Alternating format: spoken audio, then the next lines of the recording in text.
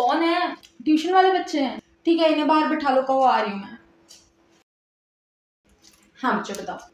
तुम किधर चली आ रही हो चप्पल पहन कर मम्मा बता चुके हैं ना तुमको कि बाहर चप्पल उतार के आया करो। समझ ही नहीं आता इन बच्चों को। चलो चलो ओए हाँ तुम। क्यों उस छोटी बच्ची को परेशान कर रहे हो? दो मिनट से देख रही हूँ मैं। दुखी करने में लगे पड़े हो, उसको पेंसिल छुपाए जा रहे हो।